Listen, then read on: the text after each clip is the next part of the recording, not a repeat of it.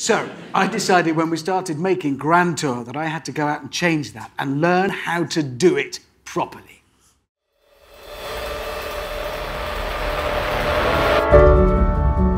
One option would be to go to a supermarket car park on a Saturday night. But instead, I came here, to France.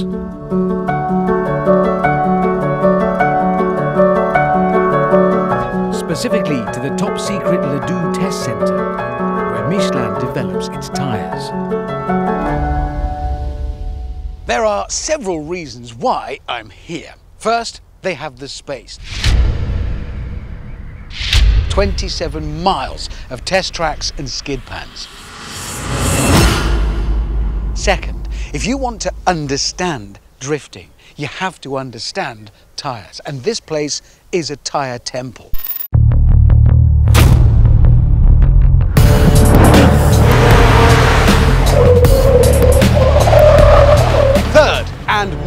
Important, if you want to know about tyres, you have to know how to drift. And that is where this chap comes in.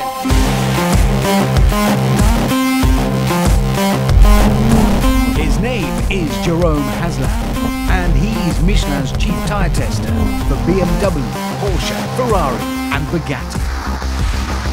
Rubber compound runs through his veins. He is a Zen master of grip, a kung fu panda of drifting, and I am to be his new pupil.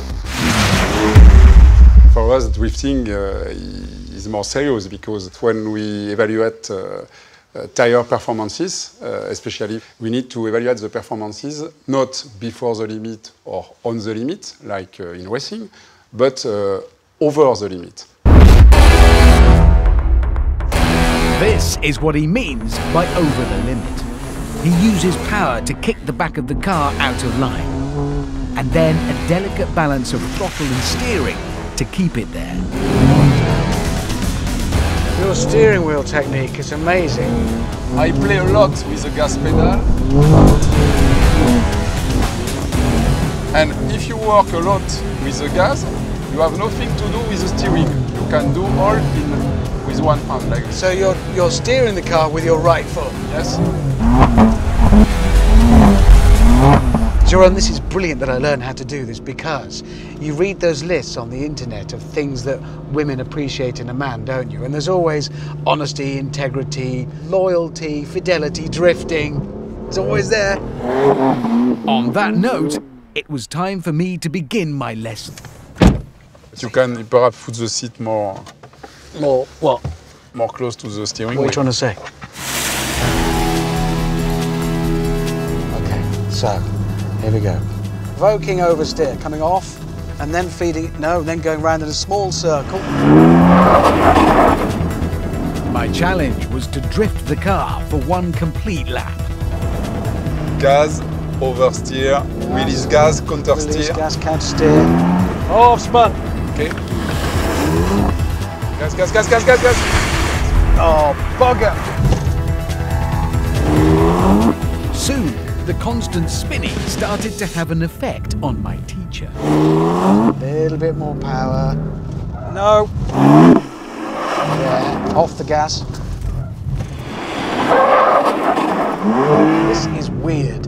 I thought this would be so easy.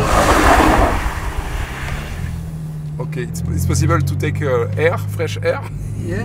Because I, I will be ill in two minutes. Is this going badly?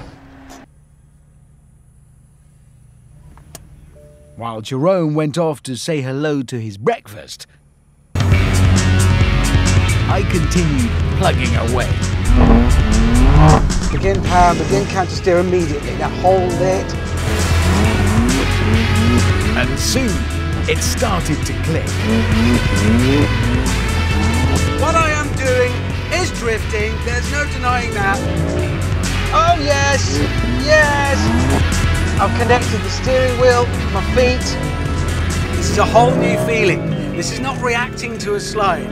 This is deliberately provoking it and keeping it right on the point. Haha, Jerome, you French drift and ski instructing dude, you. You'll be impressed with this. And he was. so we immediately progressed to the next level. Just before we start, Jerome, are you going to make this look really annoyingly easy? Yeah, you are. Okay. He did. This is called transitioning, drifting the car one way and then the other. Get it right, and it's almost balletic.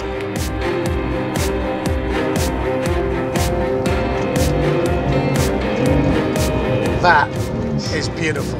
From that to that, seamlessly. Which sadly couldn't be said of what followed. Oh, brake.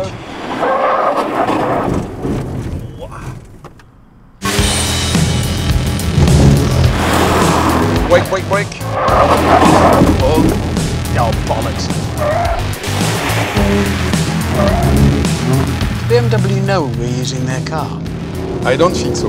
Okay. Eventually, though, Yeah.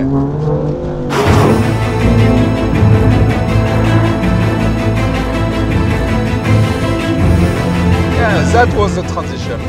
Your first.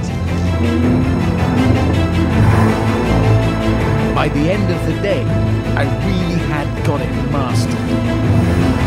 I'd become, for the first time, a driving god.